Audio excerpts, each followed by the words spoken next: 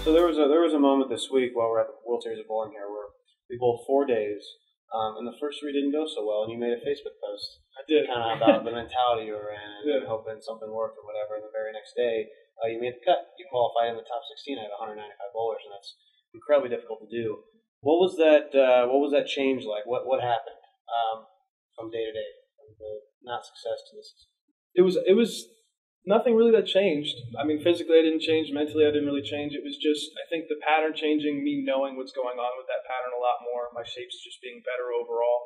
Um, I think finally I was able to get my ball to strike more, which is an actual skill, striking. Like Oh, you have to figure Oh, out yeah. how to get your ball to strike. So it's like Especially at this level, you know, spares are important, but they don't cut it. No, they don't. You need that five bag with them spares. So, but uh, yeah, I just I, I know even going on even past this week, even though I made the cut, I have a ton to learn in that aspect where I need to make sure I know how to get my ball to strike on every single pattern and strike consistently. And that was my big issue for the first three days was double nine, strike nine, nine nine, and that last day was you know a lot of strings.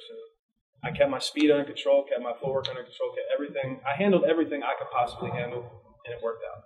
So I'm gonna hope it works out for, for the next one. Yeah. Uh, Zeke, I, I watch you a lot, and we bowl a lot of tournaments together, and uh, I, I admire your mindset. And one uh, time, especially that you know, I was extremely impressed was your first TV show, the Double Show with uh, Dick Allen. Uh, and that was your first show. I just I was amazed by how dialed in you were. You know, a lot of people get stage fright. They say how hard it is to be on a TV show for the first time, but you were just dialed in. Can you explain to us, you know, what you were going through at that time?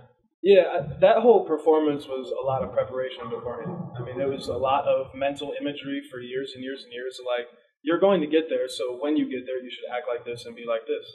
And, you know, when it was starting to get real, like when I was like, oh, I'm actually going to be on a TV show, this is going to be really cool. Like, that was my whole thing was, this is going to be cool.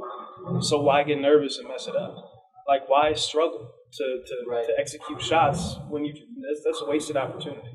So to me, when I'm when I got myself there, I'm like, okay, I gave myself an opportunity. Now I have to take complete advantage of this, like I've been planning on this entire time. And when I got to the show that day, I stayed calm, listen to music. I went and danced outside actually for like 10, 15 minutes. Just got got the excess energy out of my system. Uh, the very first shot was a good measuring tool for how fast my pace needed to be because I didn't know when how my body was going to quite feel because you never do. I mean, it's lights, it's TV, so it's real. So Right, yeah, yeah. yeah.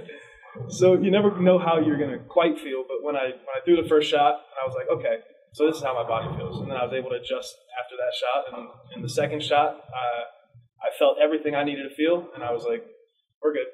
And that was just, I mean, So it sounds like uh, you just had a lot of self awareness as well. Yeah. I mean, it just seems like you really listened to your body. You were aware of the situation. I think that's what the bright light can bring is, you know, you just lose track of what you need to be con- uh, concentrating on. And you didn't do that. You executed to a T. I mean, you were packing the 8 9. My man. awesome to watch. thank you, man. You mentioned you mentioned dance, and, and we, we know what bowling means to you, but what does dance mean to you? Is it anything different? Uh, dance is a lot to me in, in a different way, definitely, because it's definitely the creative outlet. It's the you know where I can really visualize music, because that's what dance is to me. It's a visual interpretation of the song you're listening to.